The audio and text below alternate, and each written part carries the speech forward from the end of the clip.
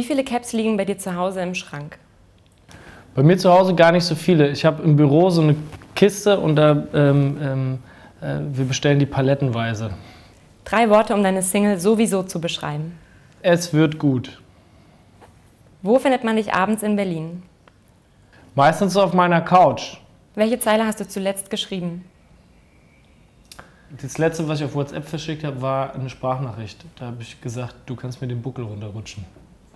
Du bist ein Papagei und kannst nur einen Satz sagen. Welcher ist es? Also ich habe mal einen Papagei kennengelernt in Mexiko. Äh, der, der, war an einem, ähm, am Eingang von einem Restaurant und der hat immer äh, gemacht, que bonita. Welchen Newcomer soll man derzeit auf dem Schirm haben?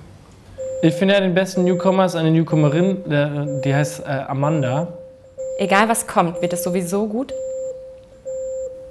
Ich glaube schon. Also ich schätze mal, irgendwo geht schon eine neue Tür auf. Das war's. Danke dir. Gerne.